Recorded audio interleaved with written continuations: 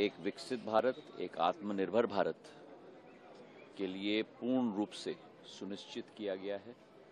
प्रधानमंत्री जी की जो सोच है कि अमृत काल से शताब्दी काल का सफ़र भारत का निश्चित रूप से एक विकसित भारत का रूप धारण करे, वो इस बजट का मुख्य अंश है।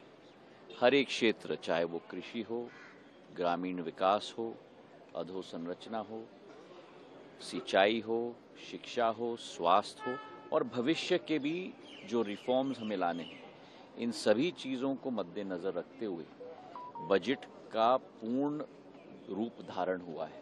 मैं बधाई देना चाहता हूँ वित्त मंत्री जी को और प्रधानमंत्री जी के नेतृत्व में भारत इस विकास के पथ पे चलेगा। शेयर बाज़ार में। देखिए बीएसई सेंसेक्स एक कंटिन्यूम है।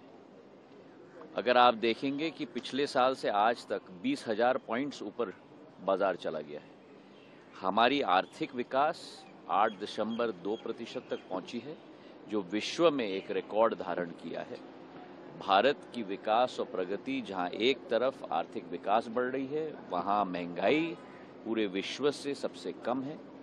हर एक क्षेत्र में अधोसंरचना में बढ़ोतरी हो रही है। कैपिटल एक्सपेंडिचर में 9.5 लाख करोड़ पिछले वर्ष था 11.11 लाख करोड़ इस वर्ष का आकलन है। हमारी एक capital expenditure investment oriented economy आज बन रही है, जो एक शुभ संकेत है। बहुत बहुत धन्यवाद।